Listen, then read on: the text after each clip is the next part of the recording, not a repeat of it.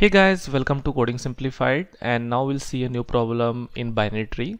So basically we are given a binary tree and we need to print element in spiral form.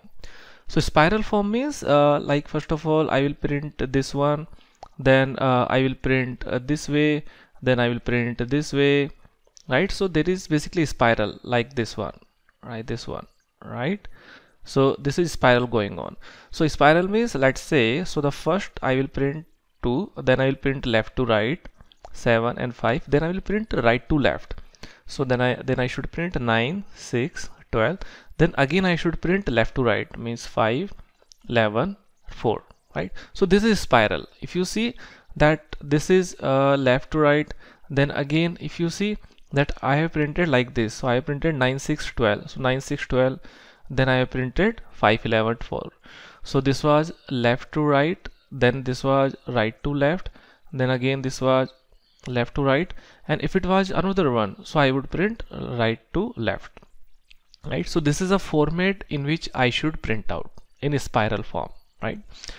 So basically uh, how we'll do it so how we can do it that will take basically the help of two stacks right? I will take stack 1 and I will take stack 2 so now uh, first of all I'll put the root value in one of the stack right? So I'm directly explaining you uh, so that you can understand it better. So first of all I'll put the uh, stack 2 then I will remove it. I then I will pop from it and I will print the value. And then after that I will uh, then after that I will check. And then for this one it means for one level I will start checking from the right and then left. And for another level I will first of all put the element from left to right right? So what I mean I mean that I will remove the element, I will print it and I will check that if it has any right element, if it has any right element, so put in the stack, right? And we have removed it, so just pop it. Now uh, after right, just put the left. So now I will put the left, right? Now this is empty. So now uh, again, now I will remove this element and then I will check the, because here I was checking the right, but now I will check the left first so I will check. So let's say this is my stack 1 so this is just a stack. This is the same stack. I'm just representing it again like this one. So now uh, I will check. I will remove 7 I will print it here. And then I will check that uh, what that if it has any left element yes it has. So it will print in the stack. It has any right? Yes it has. Now I will remove 5 I will print 5 here and I will now I will check. So 5 doesn't has any left but it has right. So it will print. It will sorry add 9 here. Right? So it means we are finished with all this stack right? All this stack element now our stack is empty. Now we'll again iterate from here and now we'll iterate from the right side right? So uh, this is the same stack. I am just that representing like this. So first of all it will check. It has any uh, so I will remove first of all 9 and I will print here I will check. It has any right? No. It has any left? Yes. So just put here.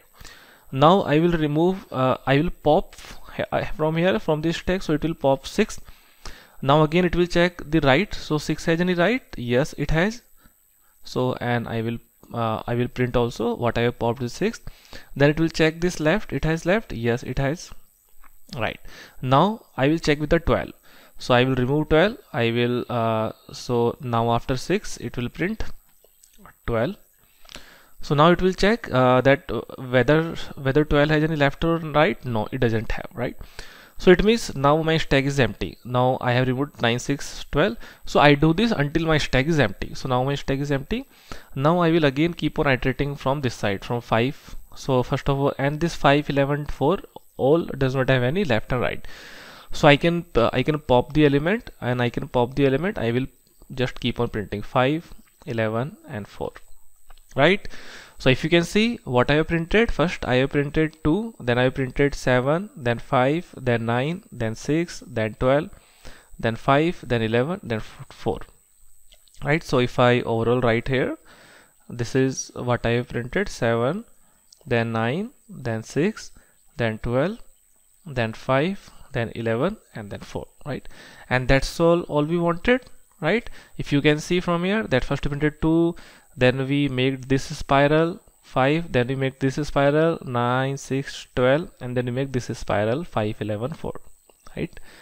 So basically this is how we can implement the binary tree element in spiral form that will take two stack and one by one for one level we'll put uh, all the values in one stack and then we'll keep on popping out the element and and then we'll put the left and right into another stack right? So when we are solving one element then we'll go to left to right and when we are solving another level we'll go to right to left right? So this is the way through which uh, we can solve this. Now about the time complexity. So basically one by one we are iterating on each element so my time complexity will be big of n. So this will be my time complexity. And if I talk about the space complexity so basically I need to take two stacks and I need to basically put the n elements right? So again uh, I need to take n space right? So that's all the time complexity that I'll need. So uh, we have done this. Now I will show you through code that how we can implement it so this is how I have created my uh, tree and then here it is my main function print in spiral form where I'm passing the root node so uh, as explained, I will take two stacks uh, S1 and S2 and where I will pass the node values. So first of all, I am putting the root value in one of the stack and I will operate this until S1 is not empty or S2 is not empty, right? So now, uh, first of all, because one by one, I will operate this until one of the stack is not empty, right? Because uh, that's what I explained that will first of all remove all the elements and then we'll do the uh, ultra vice versa right? So for first of all uh, I'm checking with the s1 that until s1 is not empty. So currently in s1 I have just the root node. So it will pop the root element and it will print the root element. Now it will check. So first of all I am checking with the left that if it has any left so it will print the left and then it will print the right. And now if you if you see the s2 so now for the s2 what we are doing? So here first we were first we are putting the left right and here we are printing right here we are putting right and left right? So now uh, look it's on you so like uh, so like this was the so like this was the one of the spiral. We can also make spiral like this we we can also have the spiral like this. Like we'll start from the 2 then here then here then here. Right? It means so basically first of all we'll print 2 then we can start printing here. So we can print then from the here to here right to left. Then we can print spiral right. So spiral can be in any way. It can be it can start from it can start from here or it can start from here right? So like I explained uh, using this one but in my example first of all I am putting the left and then I right. And for the S2 I am putting the first right and then left right?